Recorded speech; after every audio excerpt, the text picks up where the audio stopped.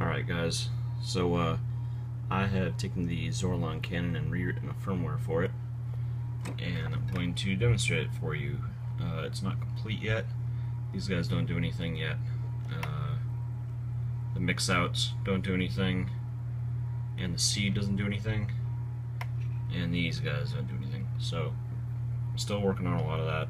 Um, but the basics are completed. So Show it off. Let me restart this thing real quick.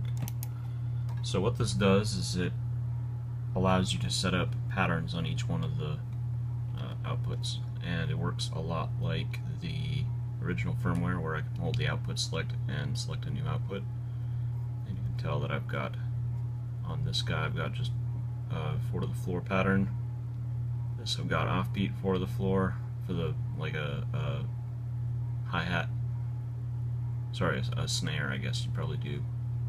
Um, this would be hi-hats, and this is just the testing pattern. Um, if I go down here to the next row, this is just a breakbeat kick drum, and then the same patterns here, and then a four to the floor, because I didn't know what to put there. Uh, so if I come back here to pattern one, then I can move this cursor through and set bits by pushing in on the encoder and then unset them if I don't want them. Uh, and then when I put a clock into this guy, it'll step all of these patterns. Put a clock in here, it'll step all these patterns. So if I take a basic clock out of this Dixie and shove it in, you can start to see the pattern move. And it's kind of annoying because the cursor blinks and this the, the step position moves. So it's kind of annoying because you can't really see, but once you get used to it, it's okay. Um, then the next trick is to take a gate out of that and run it into an envelope. So right now I'm going to run it into the Quadro, or the Intellijel Quadro, which then triggers one of the VCAs, which then passes a uh, signal through. So take that guy. Oops, that's the wrong one. Hang on a second.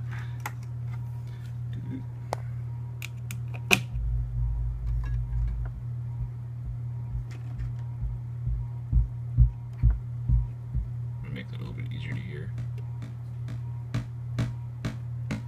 So I'm triggering the Quadro and the VCA, and it's taking the output of the PDO sending it to the reverb, which is turned off right now, and just going out to my output.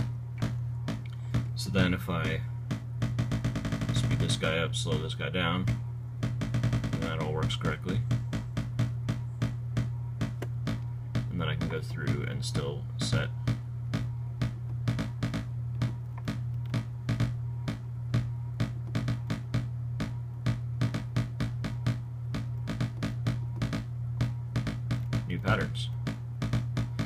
And I can also change the length of the pattern.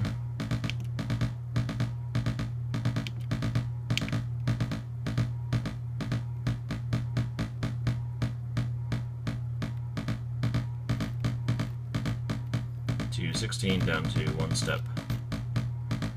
Um, I'm planning on doing a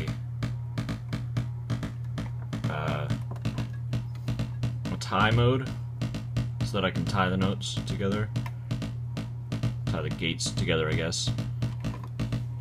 And then I'm also going to do a um,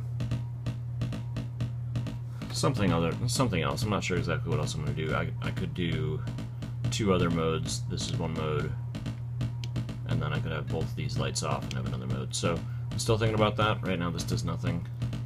Um, I'm to have these maybe change the gate lengths instead, so I don't know exactly what I'm to do. Oh, I was to do divisions of this master clock so that I could do interesting division patterns going into, uh, coming out of each one of these based on the clock and the division. So that all works. Um, I don't have any drum modules, so bear with me. Um,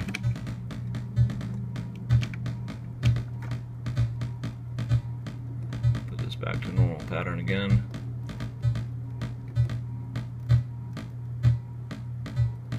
Oops, my length is off. Cool.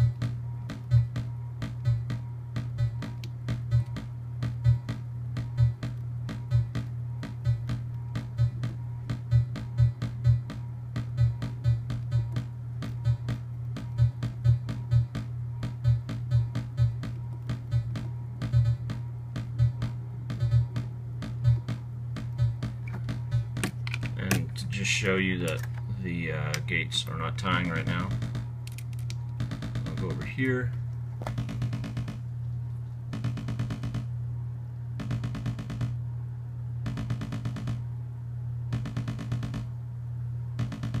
So yeah, um, I'll show you output B.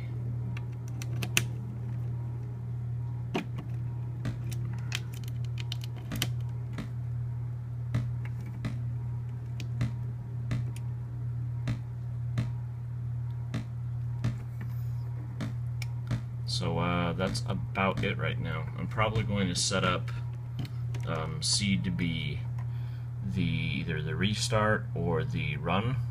I'm not sure. Uh, I'm planning on having the frequency knobs maybe control, well, control the in, an internal clock, so I don't have to use an external clock. Um,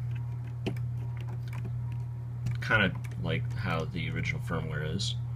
And then I'm also probably going to try to use the mix outs to actually play samples on each one of the channels.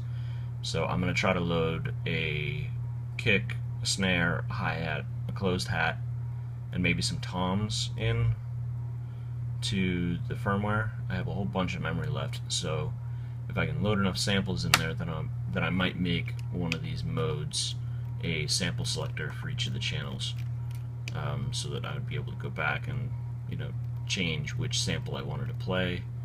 Um, I don't know if that's actually going to work though. I don't know if I have enough uh, clock speed to really be able to, uh, I'm sorry, CPU speed to be able to dump out uh, multiple channel, uh, well, the four channels of audio out to the mix out. But that's my hope. Um, I'm still planning on doing something with the range buttons. They're not doing anything right now, but I have figured out the range buttons. The analog inputs are the only thing that I really have to dig into pretty heavily. Um, but I should be able to use these for completely separate things. So if I wanted to have this be a clock and this be a gate length, or this be a clock and this be a gate length, and then the CV being, I don't know, uh, sample select, that might be fun. But uh, I still need to figure out what the best uh, design is. Uh, so all the source code for this is basically free. I put it up on GitHub. Uh, I'm going to provide a final hex file so that people can put this onto their module. And I'm also going to provide a new faceplate. I'm tentatively calling this Zorlon Gate, Zor or, or sorry, or Zorlon's Gate. I'm not sure, uh, just because it's now a